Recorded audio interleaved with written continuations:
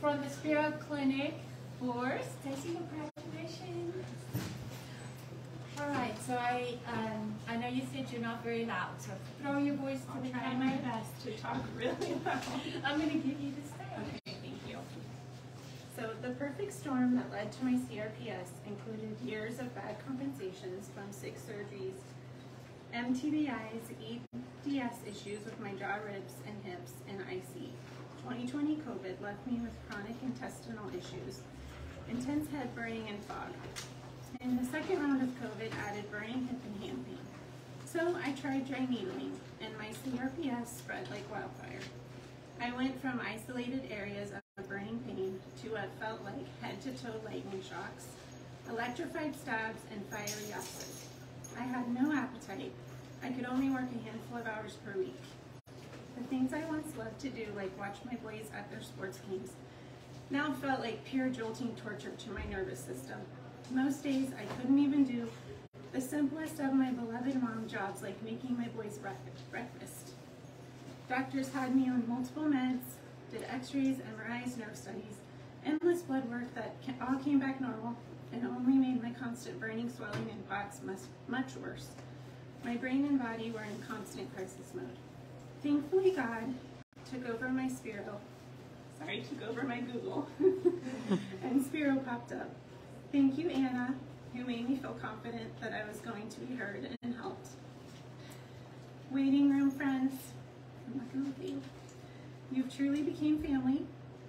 It's so comforting and reassuring to be surrounded by people who completely get it. I've learned so much from each of you. I'm grateful that God put us in each other's path. Okay, so on my first day, not even five minutes into my first neuro, Katie says, Tell me about your head traumas. I know you've had one by the way you smile. Noticing these details shows me that this place is different. Thank you, Katie. I don't know where you are. For my start here. And bless you for handling my daily pre set rolling tear stress response every day. Thank you, Dr. K, for creating a clinic that looks for details because they often make up a big part of our cases. Joy, thank you for reminding me of record-setting 17 lift treatments.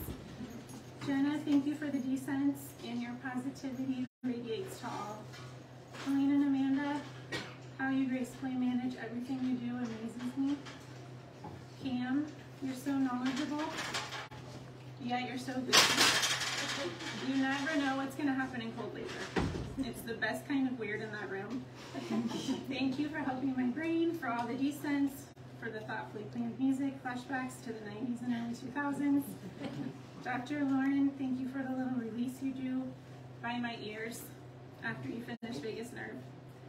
Dr. B, how you're able to remember where you left off with every patient here is just mind-boggling to me. Thank you for always being ready ideas to troubleshoot. Dr. Lucas, coming here, I never dreamed my chronic bladder pain that I've had since age four would go away after one treatment with you. Thank you for teaching me pain can be a blessing, as it's a warning signal, there's homework to be done. And after walking the stairs in NMR you handcrafted without nails, I'm convinced you are definitely a wizard. This brings me to NMR team. Comes up to me. She stops. She says, so, you're gonna be with Bryce today. There must have been a look of sheer terror on my face. she quickly said, don't worry, he's a big teddy bear. Just talk about his chickens and his cats.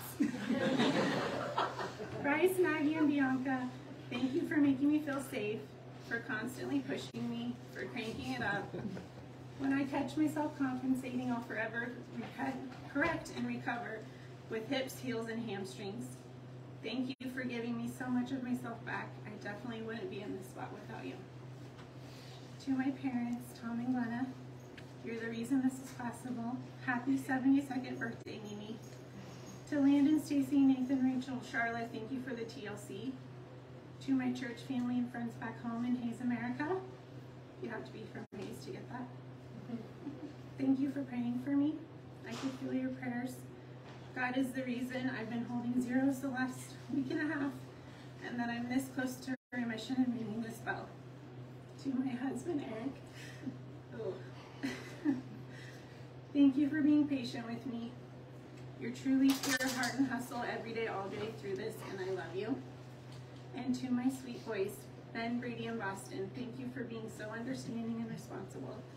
I'm so proud of you. I can't wait to be home with you. And yes, don't worry, I'll be able to cook you breakfast. Did you guys want to say anything? Stacy had a great attitude. You know, she um, she was kind of stuck for a little bit there, and she got a little depressed. You know, but we talked about that today. She said after I started feeling better, the depression was because of my pain. So, you know, once we start getting that down, you know, her, her attitude was a great attitude to come in there with every day. She she gave it her all, even though she cried and laughed through it all at the same time. You know, she always had. Uh, she always wanted to. She never wanted me to turn it down. Should I turn it down? No. Should I turn it down? No. Should I turn it down? No. And that that's what got her here today. So I always preach about attitude. Stacy had the attitude it takes to ring the bell. It's good to see you smiling more. Uh, you were talking about the first day when I asked you about your head trauma.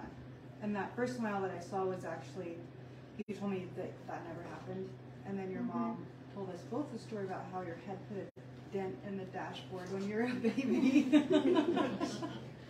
and you were looking at me like, what? but it's clear to everyone that you're feeling so much better, and it's good to see that. Thank you. Amazing. You ready? I'm ready. Let's do it. Okay.